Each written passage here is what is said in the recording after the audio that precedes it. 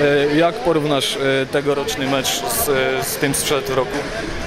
No na pewno że w zeszłym roku grałem e, w tym meczu, w samym meczu. Niestety w tym roku kontuzja nie pozwoliła mi zagrać, ponieważ przechodzę jeszcze e, okres rehabilitacyjny, ale na pewno super zabawa, super atmosfera.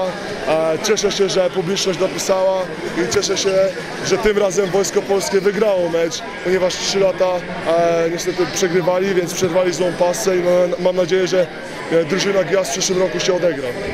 E, Jakie w takim razie e, Wojsko Polskie pokazało mocne strony dzisiaj?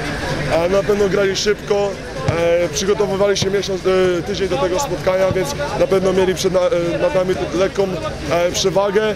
No ale tak jak mówię, nie poddajemy się. W tym roku byłem e, w drużynie Marcina, więc e, próbowałem troszeczkę pomóc tym trenerowi Taylorowi, więc tak jak mówię, nie poddajemy się w przyszłym roku. Zobaczymy kto przyjedzie, mam nadzieję, że w przyszłym roku wygramy. E, W przyszłym roku oczywiście pokażesz się też, jeżeli dostaniesz zaproszenie i zagrasz. Oczywiście, dwa lata już tutaj jestem, mam nadzieję, że w przyszłym roku również dostanę zaproszenie i będę mógł trenować z dzieciakami, a na sam koniec zwieńczyć wszystkie kampy tutaj tym meczem.